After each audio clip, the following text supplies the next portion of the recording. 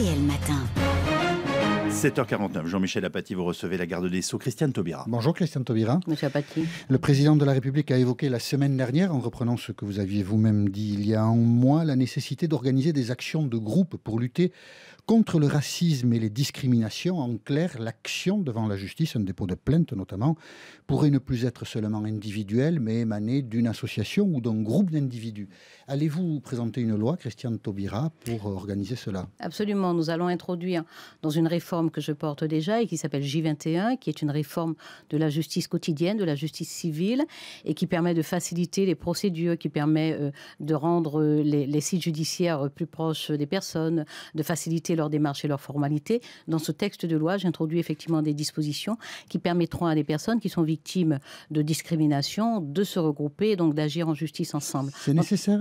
C'est absolument indispensable parce qu'en fait, de toute façon, vous savez que la discrimination, la haine, le racisme, tout ça, ça affaiblit les victimes.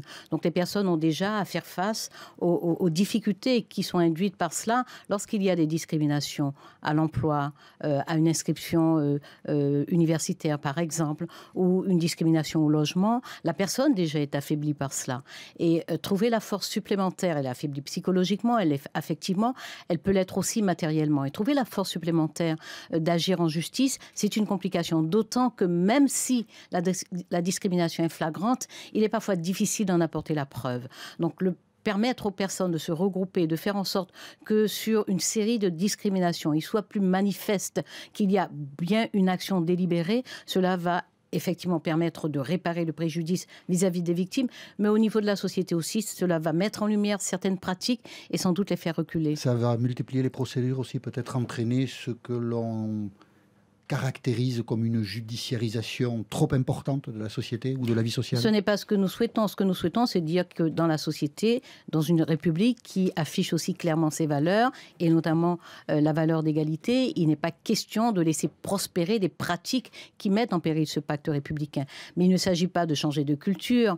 Euh, au contraire, justement, dans la même réforme, nous travaillons à faire intervenir des modes alternatifs de règlement des litiges, c'est-à-dire beaucoup plus de conciliation et beaucoup plus de médiation. Donc il ne s'agit pas de, de, de, de, devenir procédurier, il s'agit de faire passer le droit, de faire passer la justice, donc de permettre à des personnes en vulnérabilité d'agir ensemble. Et c'est pour ça que nous sommes extrêmement rigoureux sur la procédure, parce que vous savez qu'il y a de l'action de groupe, nous en avons introduit dans la loi Hamon oui, pour, la, consommation, consommation. Marisol Touraine en, en, en introduit euh, pour la santé. Ce que nous faisons, nous, ministère de la Justice, c'est mettre en place une procédure civile qui, sur tout type de euh, contentieux, permet une action qui soit plus simple, y compris pour les magistrats. Projet de loi rapide? Oui, bien entendu, euh, c'est un projet de loi qui est en fin de concertation, qui sera présenté en Conseil des ministres euh, d'ici à la fin de ce semestre euh, et qui devrait être au Parlement dans l'année.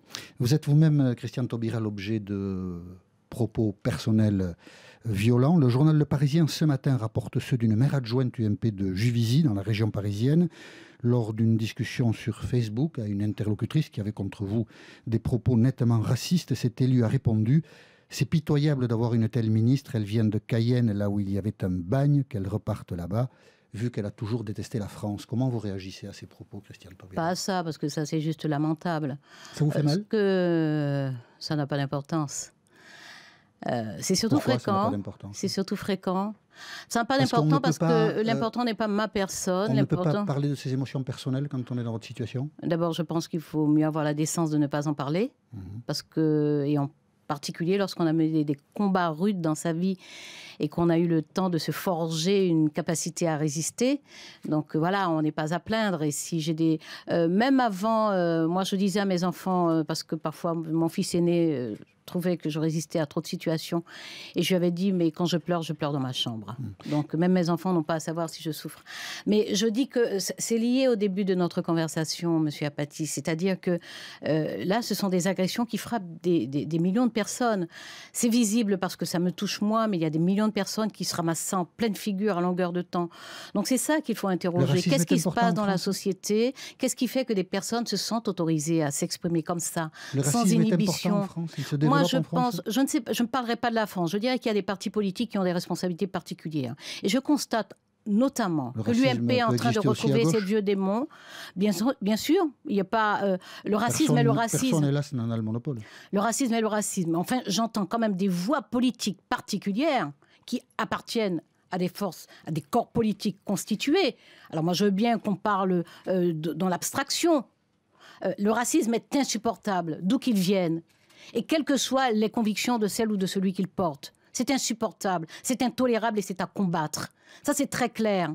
Maintenant, euh, il y a des paroles politiques identifiables, identifiées avec des signatures qui de plus en plus jouent avec le bord de la ligne. Et puis après, les citoyens franchissent le dernier pas qui manque. Et c'est ce qui s'est passé aussi l'année dernière.